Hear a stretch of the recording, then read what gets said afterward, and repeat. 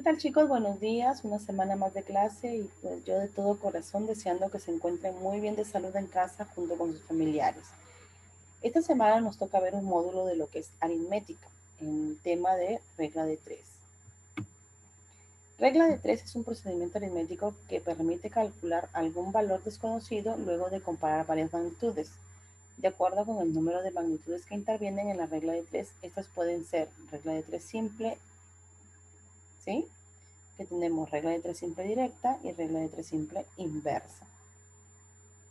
En regla de tres simple directa, cuando las magnitudes que intervienen son directamente proporcionales.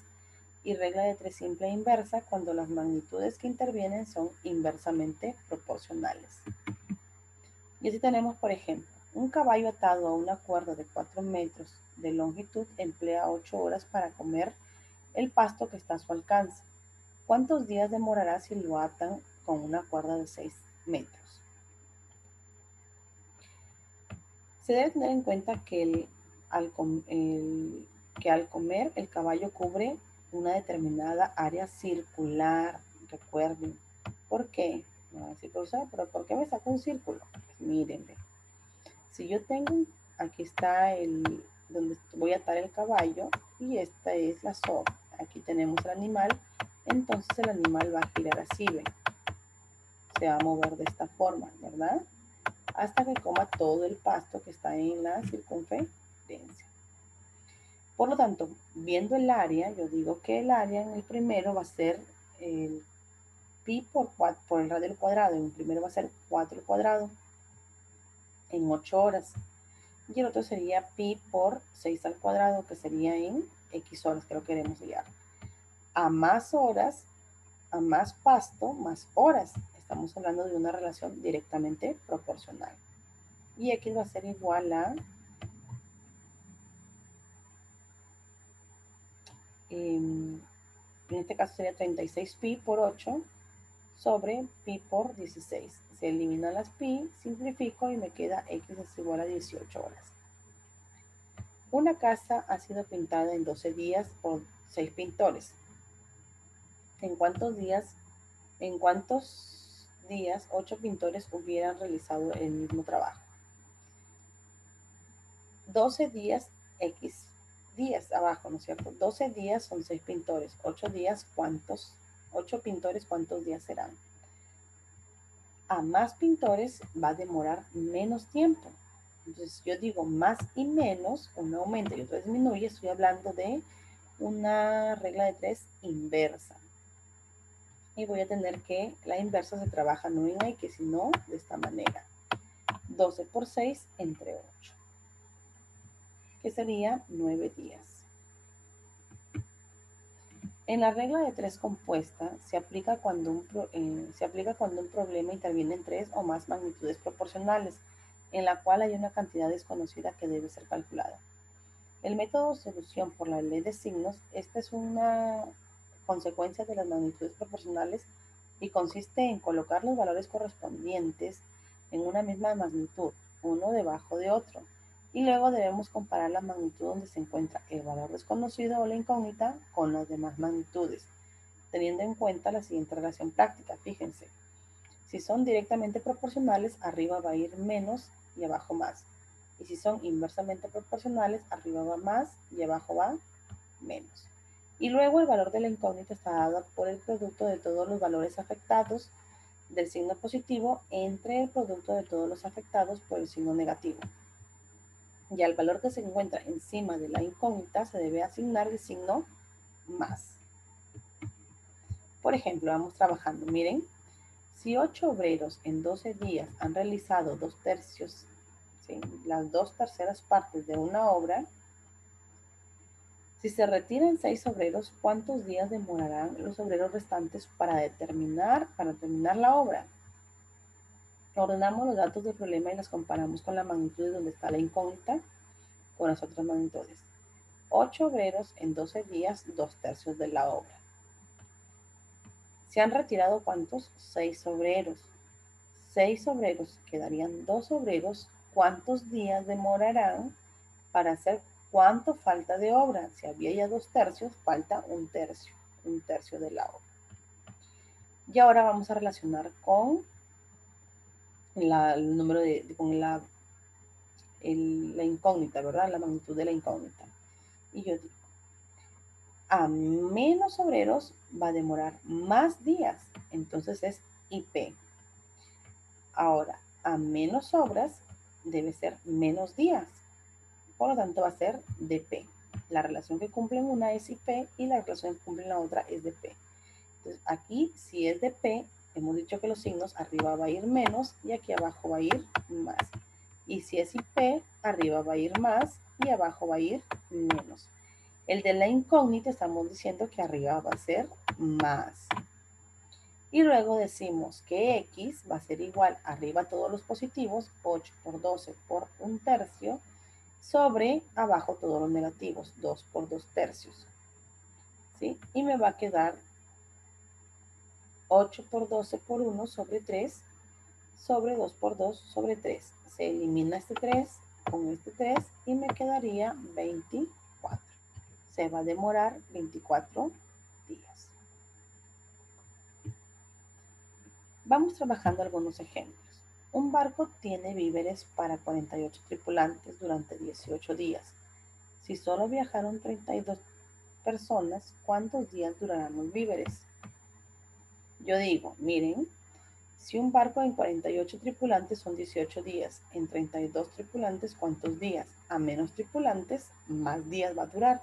Estoy hablando de una IP, inversamente proporcional, por lo tanto voy a decir 48 por 18 entre 32. Me va a dar 27 días.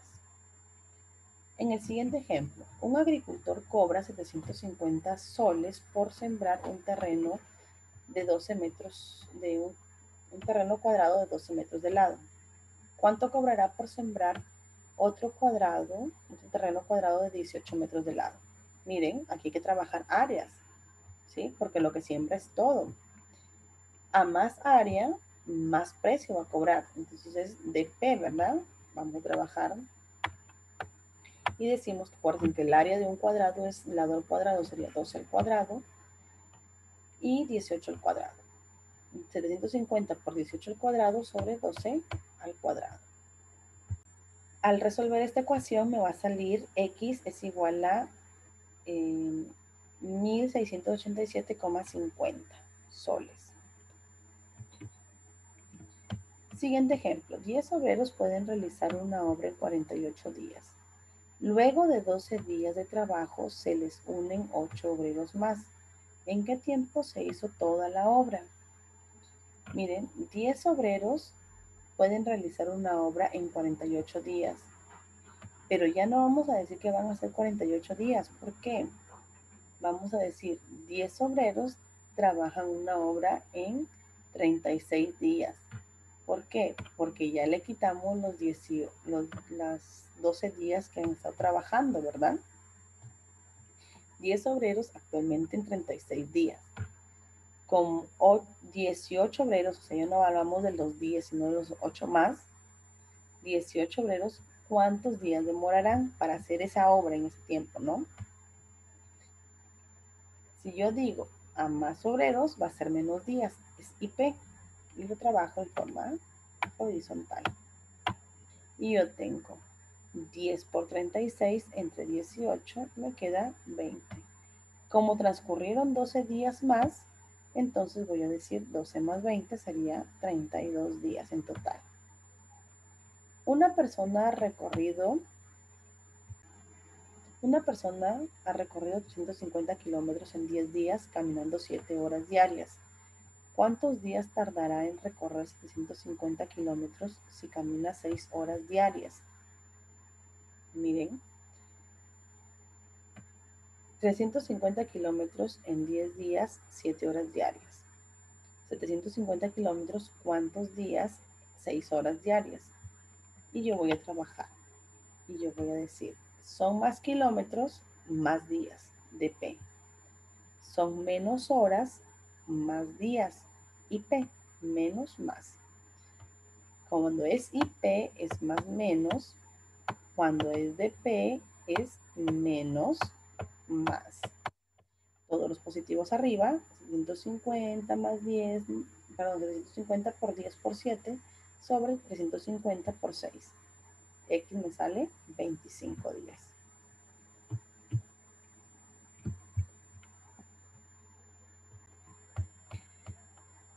Si mil, si mil soldados tienen víveres para 12 días a razón de tres raciones diarias por cada soldado, si se quiere, si se, refuerzan con 200 soldados, ¿cuántos días durará la misma cantidad de víveres si cada soldado recibió dos raciones diarias? Miren, mil soldados, 12 días, tres raciones diarias. 1200 soldados, X días, dos raciones diarias. A más soldados, menos días, IP. A menos ración, más días y P.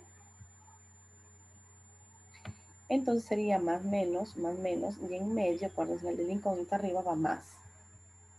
Y me quedaría 1000 por 12 por 3, ¿sí? Sobre 1200 por 2. Simplificando, ¿cuánto me queda? 15 días. Siguiente ejemplo. 15 campesinos labran un terreno de forma rectangular cuyas medidas son 60 metros de largo y 40 metros de ancho en cuatro días. ¿Cuántos campesinos se necesitarán para labrar otro terreno rectangular de 90 metros de largo por 50 de ancho en cinco días? Hablamos de área y área es base por altura, recuerden. 20 campesinos, una área de 60 por 40 en 4 días. X campesinos, 90 por 50, que es el área, en 5 días. Yo digo, a más área, más campesinos, definitivamente. Entonces es de P. A más días, se van a necesitar menos, o sea, se han usado menos campesinos. Más días, menos campesinos, es IP. En DP, en IP se pone más menos y en DP se pone menos más. Y arriba el del incógnito siempre es más. Colocamos todos los positivos arriba, 20 por 90 por 50 por 4 y entre 60 por 40 por 5. Simplificando me queda X es igual a 30. Y tenemos por último, dice, se emplean 32 obreros que trabajan 9 horas diarias durante 24 días para acabar una zanja de 40 metros de largo, 10 de ancho y 5 de alto. Si se emplea el doble de obreros durante 18 días para acabar otra zanja de 50 metros de largo, 12 de ancho y 4 de alto, ¿cuántas horas deben trabajar? Miren, 32 obreros, 9 horas diarias, 24 días y el volumen, 40 por 10 por 5. 64 obreros, ¿sí? 64 obreros me dice, porque me dicen si se emplea el doble de obreros, 64 obreros, X horas, que es lo que quiero hallar, en 18 días y me dan el volumen y voy a trabajar cada uno. Yo digo, a más obreros, menos días. Más obreros, menos horas, ¿sí? Que voy a trabajar. Por lo tanto, sería IP a menos días, se supone que voy a trabajar más horas diarias. Para hacerlo en menos días sería IP. A más volumen, más horas diarias trabajadas. Entonces sería DP. Menos más, más menos. Este siempre va más y más menos. 32 por 9 por 24 por 50 por 12 por 4 sobre 64 por 18 por 40 por 10 por 5. Esto me sale X igual a 7,2 horas diarias. Listo chicos, muchas gracias por su atención. Ahora sí, ustedes pueden resolver su módulo correspondiente al regla de 3. Nos vemos la siguiente semana y no se olviden, no salgan de casa y tampoco hay que recibir visitas chicos.